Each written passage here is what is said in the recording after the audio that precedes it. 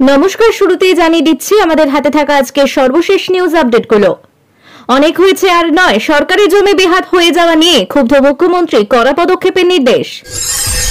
বছরে আয় ছেচল্লিশ লক্ষের অধিক, কোটি টাকারও বেশি সোনা সম্পদের হিসেব দিলেন প্রিয়াঙ্কা গান্ধী।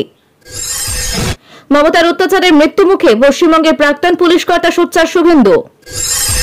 কংগ্রেসকে দূরে ঠেলে উত্তরপ্রদেশ, একলা চলো অখিলেশের, ফের ইন্দির জোতে ফাটল। ভালোভাবেই হয়েছে সব। অভিষেক জানালেন চোখে অষ্টম অস্ত্রোপচার সফল মানতে হবে কিছু নির্দেশ। সব ভগবানের ভরসায় ছেড়ে দিয়েছে দুর্যোগ নিয়ে মমতা প্রশাসনকে নিশানা শুভেন্দুর। বিস্তারিত প্রতিবেদনে যাওয়ার আগে অনুরোধ করব চ্যানেলটি সাবস্ক্রাইব করুন এবং আপনি কোন জেলা থেকে আমাদের এই ভিডিওটি দেখছেন তা কমেন্ট করে জানিয়ে দিতে ভুলবেন না। চলে যাব আজকের বিস্তারিত খবরে। অনেক হয়েছে আর নয় সরকারি জমি বেহাত হয়ে যাওয়া নিয়ে ক্ষুব্ধ মুখ্যমন্ত্রী করে পদক্ষেপের নির্দেশ। নবান্ন সূত্রের খবর, সরকারি জমি বেদখল হওয়া নিয়ে মন্ত্রিসভার বৈঠকে অসন্তোষ প্রকাশ করেছেন মমতা। তিনি স্পষ্ট জানিয়ে দিয়েছেন, অনেক সহ্য করা হয়েছে, বেআইনি দখল আর সহ্য করা যাবে না, সরকারি জমি বেদখল হয়ে যাওয়া নিয়ে ক্ষুব্ধ মুখ্যমন্ত্রী মমতা বন্দ্যোপাধ্যায়। বৃহস্পতিবার মন্ত্রিসভার বৈঠকেও তা নিয়ে ক্ষোভ প্রকাশ করেছেন তিনি। মুখ্য সচিব মনোজ পন্থকে এই সংক্রান্ত নির্দেশও দিয়েছেন সরকারি জমি বেআইনি ভাবে দখল করা হলে তার বিরুদ্ধে করা পদক্ষেপের কথা বলেছেন তিনি। পাশাপাশি বৃহস্পতিবারের বৈঠকে রাজ্য সরকারের বিভিন্ন দপ্তরে একাধিক নতুন পদে নিয়োগের ছাড়পত্র দেওয়া হয়েছে বলে খবর। নবান্ন সূত্রের খবর, সরকারি জমি বেদখল হওয়া নিয়ে মন্ত্রিসভার বৈঠকে অসন্তোষ প্রকাশ করেছেন মমতা। তিনি স্পষ্ট জানিয়ে দিয়েছেন, অনেক সহ্য হয়েছে। বেআইনি দখল করা আর সহ্য করা যাবে না। যারা কোনো না কোনো সময় সরকারি জমি দখল করে, সেখানে বাড়ি বা অন্য কোনো নির্মাণ করেছেন, তাদের বিরুদ্ধে আইনি পদক্ষেপের জন্য মুখ্য সচিবকে নির্দেশ দিয়েছেন তিনি। জমি বেদখল নিয়ে এর আগেও ক্ষোভ প্রকাশ করেছিলেন মুখ্যমন্ত্রী। বিভিন্ন প্রশাসনিক বৈঠকে পুলিশ এবং আমলাদের ভর্ৎসনাও করেছিলেন। তারপর রাজ্য পুলিশের তরফে দখল হয়ে যাওয়া ও জমি উদ্ধারের পরিকল্পনা করা হয়েছিল, কিন্তু তাতে তেমন কাজ হয়নি। তাই এইবার আরও করা হয়েছে নবান্ন। সূত্রের খবর, বৃহস্পতিবার নবান্নের বৈঠকে অনেক নতুন পদে নিয়োগের ছাড়পত্র সহ একাধিক গুরুত্বপূর্ণ সিদ্ধান্ত হয়েছে। স্বরাষ্ট্র দপ্তরের সাতান্নটি স্বাস্থ্য দপ্তরের আঠারোটি, জলসম্পদ দপ্তরের সাতটি পদে নিয়োগের ছাড়পত্র দেওয়া হয়েছে। কর্মবন্ধু, পরিবেশ এবং অর্থ দপ্তরেও নতুন নিয়োগ হবে বলে সিদ্ধান্ত নেওয়া হয়েছে এছাড়া রাজ্য সমবায়। ব্যাংক থেকে রাজ্য সমবায় কৃষি এবং গ্রাম্য উন্নয়ন ব্যাংকের দেড় হাজার কোটি টাকার ঋণ নেওয়ার প্রস্তাবে শিলমোহর দিয়েছেন মন্ত্রিসভা। দুর্গাপুর প্রজেক্টস লিমিটেডের অধীনে ছশো সাত মেগাওয়েট ক্ষমতা সম্পন্ন সুপার ক্রিটিক্যাল পাওয়ার প্ল্যান্ট তৈরির ছাড়পত্র দেওয়া হয়েছে বৈঠকে। নিউ টাইমে অর্থ তালুক তৈরি করার জন্য আরও জমি দেওয়ার প্রস্তাবে শিলমোহর দিয়েছে মন্ত্রিসভা। প্রিয় ভালোবাসা দর্শক, মমতা দিদি কি পশ্চিমবঙ্গের উন্নয়নের উপকার? আপনার মূল্যবান মতামত ইয়েস অন্য কমেন্ট করে জানিয়ে দিন। এবার চোখ রাখব পরবর্তী খবরে। বছরে আজ ছেচল্লিশ লক্ষের অধিক কোটি টাকারও বেশি সোনা সম্পদের হিসেব দিলেন প্রিয়াঙ্কা গান্ধী। রাহুল গান্ধী ছেড়ে যাওয়া ওয়েনাড লোকসভা কেন্দ্রে উপনির্বাচনে কংগ্রেসের প্রার্থী প্রিয়াঙ্কা গান্ধী। বুধবারই মনোনয়ন জমা দিয়েছেন প্রিয়াঙ্কা। মোট সম্পত্তির পরিমাণ থেকে বার্ষিক আয় কত? নির্বাচন কমিশনকে হলফনামায় জানিয়েছেন প্রিয়াঙ্কা। হিসাব দিয়েছেন ব্যবসায়ী স্বামী রবার্ট রডলার সম্পত্তির হিসেবেও। হলফনামায় প্রিয়াঙ্কা জানিয়েছেন, তার এবং তার স্বামীর মিলিয়ে মোট সম্পত্তির আনুমানিক মূল্য আটাত্তর কোটি টাকা। তার মধ্যে বারো কোটি সম্পত্তি রয়েছে প্রিয়াঙ্কার।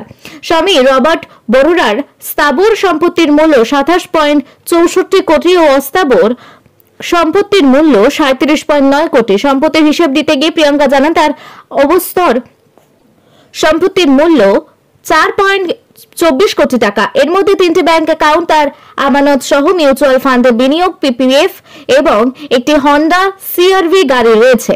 গাড়িটি স্বামী তাকে উপহার দিয়েছিলেন বলেও জানান প্রিয়াঙ্কা। এছাড়াও প্রায় এক পয়েন্ট পনেরো কোটি সোনা রয়েছে প্রিয়াঙ্কা গান্ধীর। ব্যাংকের সুদ এবং অন্যান্য বিনিয়োগ থেকে গত আর্থিক বর্ষে ছেচল্লিশ লক্ষ উনচল্লিশ হাজার কোটি টাকা আয় করেছেন প্রিয়াঙ্কা। সিমলায় পাঁচ পয়েন্ট তেষট্টি কোটির বাড়ি রয়েছে প্রিয়াঙ্কার। এছাড়াও দিল্লিতে উত্তরাধিকার সূত্রে প্রাপ্ত দুটি সম্পত্তিতে ভোগ রয়েছে তার। তার সব মিলিয়ে তার স্থাবর সম্পত্তির পরিমাণ সাত পয়েন্ট চুয়াত্তর কোটি টাকা। প্রিয়াঙ্কার বিরুদ্ধে একটি এফআইআর রয়েছে। দুই হাজার তেইশ সালে মধ্যপ্রদেশে প্রিয়াঙ্কার বিরুদ্ধে দায়ের হয় সেই এফআইআর। ভুয়ো তথ্য নিয়ে টুইট করার অভিযোগ ছিল তার বিরুদ্ধে আপত্তি দু সালে উত্তরপ্রদেশে হাতুরসের ঘটনায় করোনার সময় প্রতিবাদে সামিল হওয়ার অভিযোগে তার বিরুদ্ধে এফআইআর দায়ের করা হয়েছিল। উল্লেখ্য, আগামী তেরোই নভেম্বর ওয়ানাদে উপনির্বাচন হবে। ভোট গণনা হবে আগামী তেইশ নভেম্বর। এর আগে সক্রিয় রাজনীতিতে ভোটের ময়দানে দেখা যায়নি প্রিয়াঙ্কাকে। বুধবার মা সানিয়া গান্ধী, দাদা রাহুল, স্বামী রবার্ট এবং কংগ্রেস সভাপতি মল্লিকার্জুন খার্গের সঙ্গে ওয়েনারে গিয়ে রোড শো করে মনোনয়ন জমা দেন প্রিয়াঙ্কা গান্ধী। প্রিয় ভালোবাসা দর্শক, আপনি কোন দলকে সমর্থন করেন? আপনার মূল্যবান মতামত কমেন্ট করে জানিয়ে দিন। এবার চোখ রাখব পরবর্তী খবরে। মমতার অত্যাচারে মৃত্যুমুখে পশ্চিমবঙ্গের প্রাক্তন পুলিশ কর্তা সচ্চার শুভেন্দু। জানা গিয়েছে, বুধবার বারাণসীতে ফিলোসফিক্যাল সোসাইটি অফ ইন্ডিয়া সম্মেলনে বক্তব্য রাখছিলেন সংস্থার পশ্চিমবঙ্গ শাখার সভাপতি পঙ্কজ দত্ত। তখনই তার নাক মুখ থেকে রক্তক্ষরণ শুরু হয়, সংজ্ঞাহীন হয়ে পড়েন তিনি। বারাণসীতে এক অনুষ্ঠানে যোগদান করতে গিয়ে গুরুতর অসুস্থ হয়ে পড়েছেন রাজ্য পুলিশের প্রাক্তন ইন্সপেক্টর জেনারেল পঙ্কজ দত্ত। নাক ও মুখ থেকে রক্তক্ষরণের সঙ্গে সংজ্ঞাহীন হয়ে পড়েছেন তিনি। তার বারাণসীতে তাকে ক্রিটিক্যাল কেয়ার ইউনিটে ভর্তি করা হয়েছে। পঙ্কজ বাবুর এই অবস্থার জন্য মুখ্যমন্ত্রী মমতা বন্দ্যোপাধ্যায়কে দাঁড়ি করেছেন রাজ্যের বিরোধী দল নেতা শুভেন্দু অধিকারী। শুভেন্দু বাবুর বক্তব্যে সমর্থন জানিয়েছেন পঙ্কজ বাবুর আইনজীবী জয়ন্ত নারায়ণ চট্টোপাধ্যায়। জানা গিয়েছে, বুধবার বারাণসীতে ফিলোসফিক্যাল সোসাইটি অফ ইন্ডিয়া সম্মেলন বক্তব্য রাখতে গিয়ে সংস্থার পশ্চিমবঙ্গ শাখার সভাপতি পঙ্কজ দত্ত তখনই তার নাক মুখ থেকে রক্তক্ষরণ শুরু হয়। সংজ্ঞাহীন হয়ে পড়েন তিনি।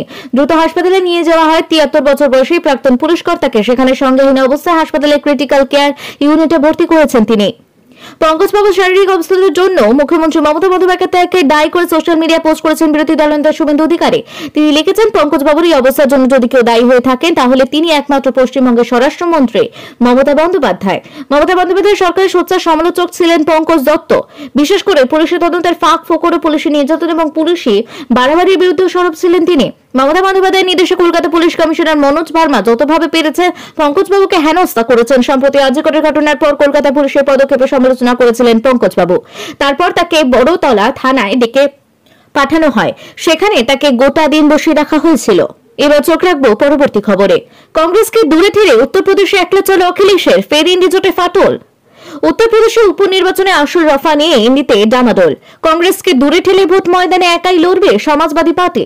এক স্যান্ডেলে পোস্ট করে জানিয়ে দিলেন সভাপ্রধান অখিলেশ যাদব। উত্তরপ্রদেশ উপনির্বাচনে এনডি জোটের প্রার্থীরা সাইকেল চিহ্নে লড়বেন বলে ঘোষণা করেছেন অখিলেশ। তেরো নভেম্বর উত্তরপ্রদেশের আটটি বিধানসভা আসনে রয়েছে উপনির্বাচন। তার আগে ইন্ডিতে চরম কোণঠাসা কংগ্রেস।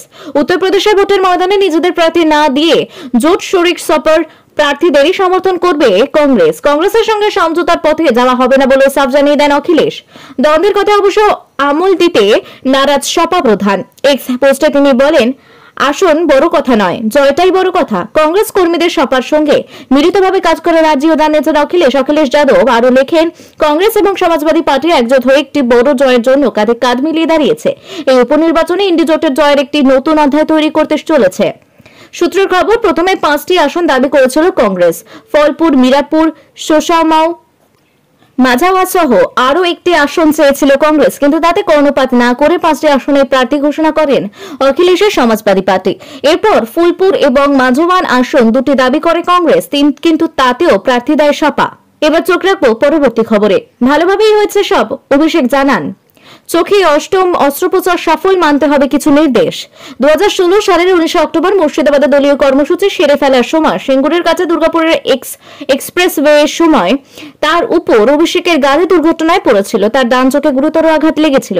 অভিষেক বন্দ্যোপাধ্যায় আমেরিকায় তার ডান চোখের অস্ত্রোপচার সফল হয়েছে বলে জানান তৃণমূলের সর্বভারতীয় সাধারণ সম্পাদক অভিষেক বন্দ্যোপাধ্যায়। সোমবার অভিষেক তার এক্স পোস্টে তার রক্ত জমার ডান চোখের ছবি পোস্ট করে জানিয়েছেন, এই নিয়ে অষ্টমবার অস্ত্রোপচার হলো।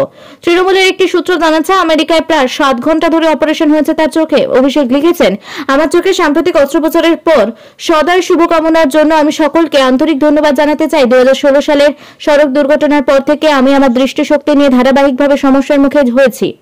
এই নিয়ে অষ্টম অস্ত্রোপচার হলো।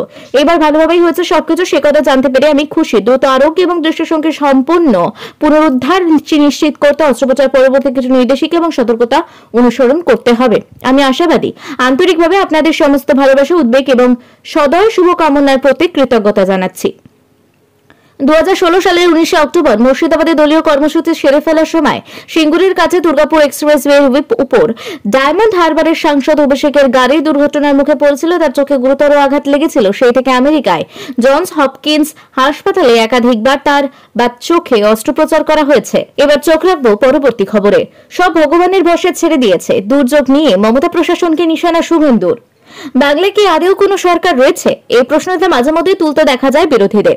ভয়ঙ্কর ঘূর্ণিঝড় দানার আতঙ্কে উপকূলবর্তী জেলার মানুষেরা ওড়িশার সেখানকার সরকার সব রকম প্রস্তুতি নিয়েছে, কিন্তু বাংলার প্রশাসন এতটাই অপদার্থ যে এরা সবকিছু অবহেলার চোখে দেখে, দুর্যোগকে কেন্দ্র করে এবার নবান্নকে এইভাবেই করে ভাষায় আক্রমণ করলেন রাজ্যের বিরোধী দলনেতা শুভেন্দু অধিকারী। এ রাজ্যের মুখ্যমন্ত্রী আজকে জনদরদি হওয়ার জন্য নবান্নে রাত্রিবাস করার কথা জানিয়ে দিয়েছেন। প্রমাণ করার চেষ্টা করছেন যে তিনি বাংলার মানুষের বিপদে কতটা ঝাঁপিয়ে পড়েন। কিন্তু মমতা বন্দ্যোপাধ্যায় কাদার এই লোক দেখানো নাটক যে মানুষ ধরে ফেলেছে, তা নিয়ে পাল্টা কটাক্ষ করেছেন রাজ্যের বিরোধী দলনেতা শুভেন্দু অধিকারী।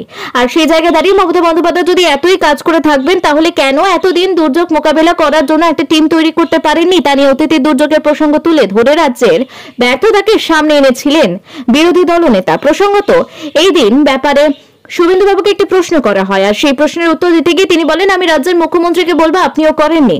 আপনি তেরো বছর ধরে মুখ্যমন্ত্রী আর সিপিএম ও চৌত্রিশ বছর ধরে করেনি।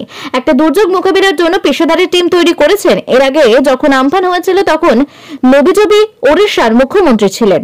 সেখান থেকে ওডিআরএফ এর টিম এনে সল্টলেকে থেকে গাছ সরাতে হয়েছিল।